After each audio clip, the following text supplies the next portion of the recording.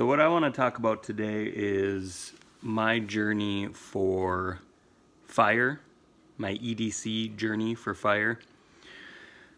I rarely use a lighter for anything, uh, but there is times where, you know, if it's fabric I need to singe or, uh, you know, light something or uh, in the rarest of cases, if I had to start fire to stay warm, if something something were to happen, uh, if my vehicle stopped running or or whatever it may be, it's just it's very much a preparedness type device uh, that you can make pretty small.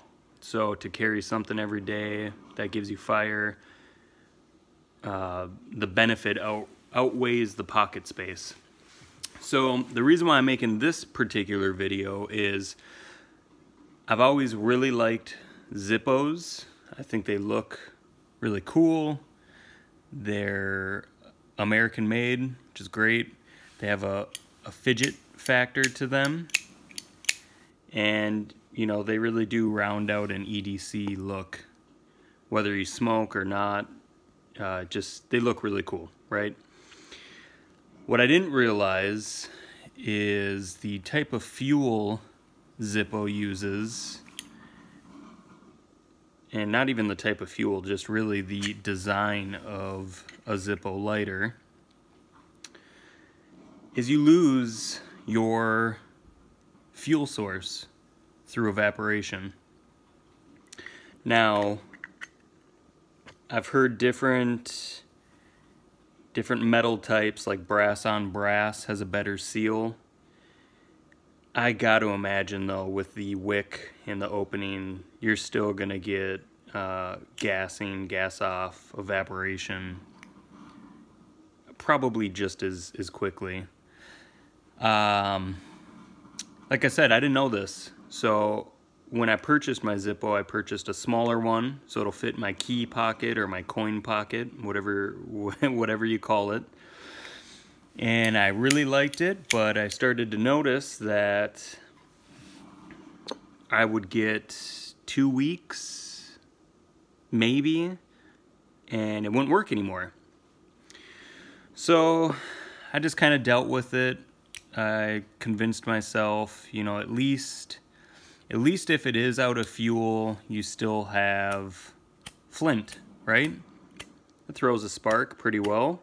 You might be able to start something, start some kindling on fire with that. And then I decided, you know, maybe I should look into butane lighters. And through that I discovered, you know, you could get a butane lighter uh, for Zippo. Basically get a butane insert for Zippo. So instead of having the having the fuel this way, you have an actual insert that's a torch butane lighter. That's pretty cool. I get to keep the cool look. I get to, uh, you know, keep the fuel retention. There's one problem though. They don't make it for the small Zippo.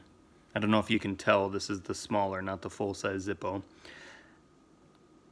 the size of the lighter is important to me. Earlier I mentioned pocket space.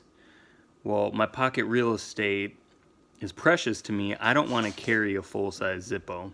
Now that might change down the road. There may be a time that a time that comes where I decide, you know what, just bite the bullet, get the full-size Zippo, and get the butane insert. That could happen down the line. What I started to realize though is a standard Bic.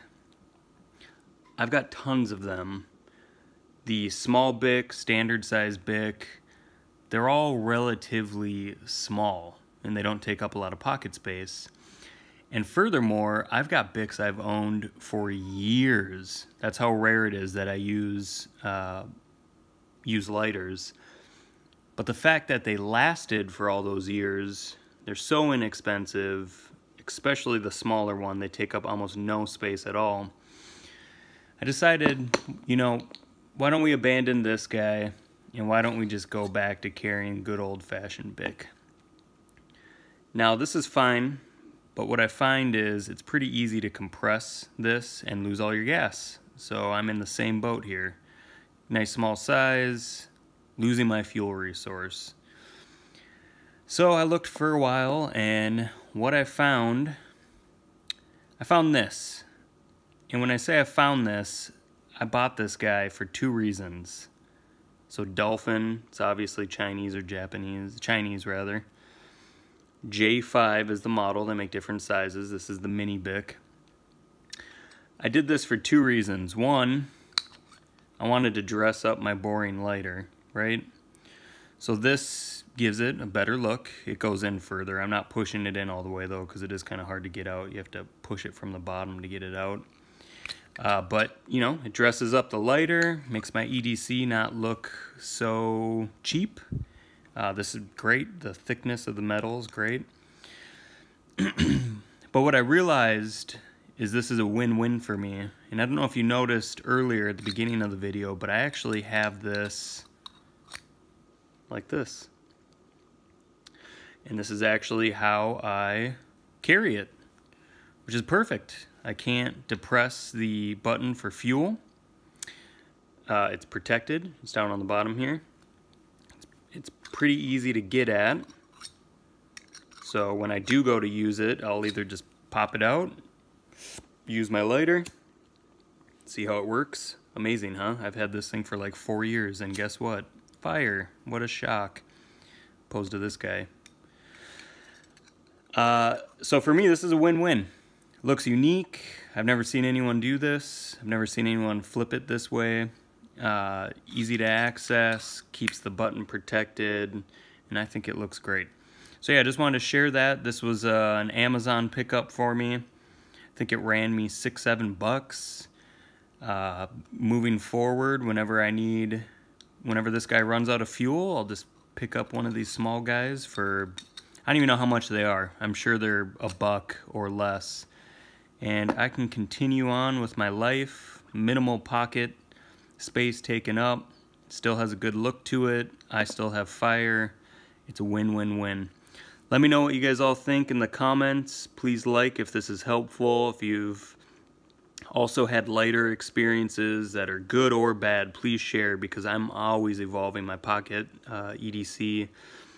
Uh, and for me, this was initially a big win. I loved it. I loved the size, the smallness, but the practicality of it for fuel retention was just not there. So I'd be curious to know if you guys are using electric lighters, butane lighters, refillable butane lighters. I'd love to hear your experiences, what works, what doesn't work.